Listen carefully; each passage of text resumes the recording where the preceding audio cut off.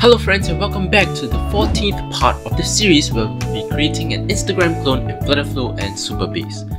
So in this video, we'll be seeing how we can implement a search post function to allow our users to search for posts in our search page over here.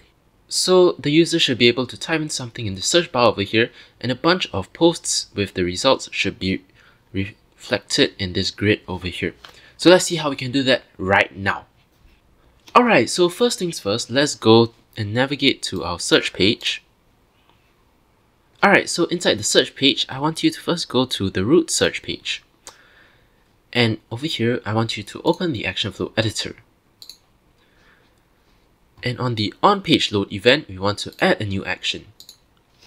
And now we'll type in Supabase, and we'll choose this new action called Supabase Query Rows.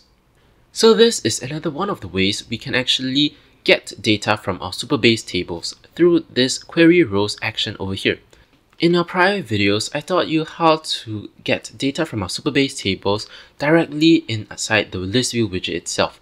But this is another way we can read data from our Supabase tables by having this backend call query rows action when our page loads so that we are able to access the data throughout the whole page instead of being limited to the widget itself. Alright, so once we have this query row action, we want to select the table that we want to query. For this, we can just select full post view.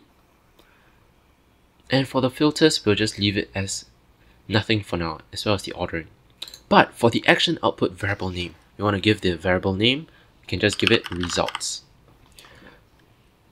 Now we can close out of our action flow editor. And now let's add the actual simple search functionality to our text field over here. So we click on this search bar text field, and we want to go ahead and open the action flow editor. For the action trigger, we want to select the on submit event and we want to add a new action and we'll search for simple search. We want to choose this action over here. For the search type, it will be searching strings. And now in this field over here, we have to give a list of search options. So we click on that and we click on action outputs and we want to choose our result supabase row. But since this is a supabase row and not a list of strings, we have to click on the available options over here and we want to map list items. So this basically just gets one of the fields in our supabase rows.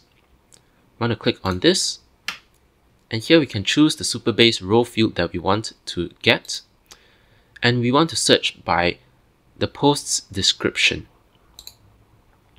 So we click on confirm and no further changes. And we'll just leave it as no further changes and then we can confirm over here.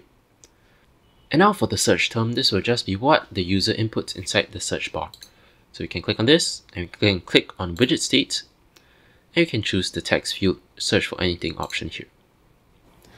Alright, so yep, that's basically it for our search function in Flutterflow. So we can close out of this and now we want to reflect the search results in our grid view over here. So we have to click on the grid view, make sure that the grid view widget is selected, and we'll choose this generate dynamic children option. So here we can give it a name, such as search results.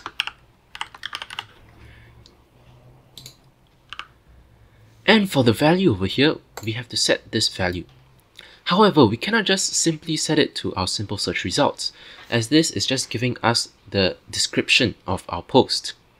Instead, we have to use our description to match it to the Supabase rows for that post, their corresponding posts. So how we can do this is we can instead select action output and we can select results and instead of this we want to only get the items so filter list items and here now we can specify a filter condition.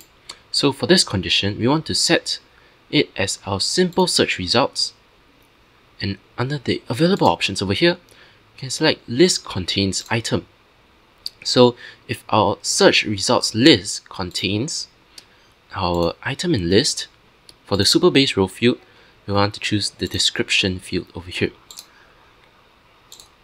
So basically, what this filter condition does is that it only returns our posts where their description is currently inside our search results description list over here. So if you click on confirm and then we click on save, you can now see that this grid view contains some more transparent containers over here, meaning that this grid view is currently dynamically generating these widgets based on our data. So let me go ahead and delete all of these containers first. So we don't need any of these containers, we just need one.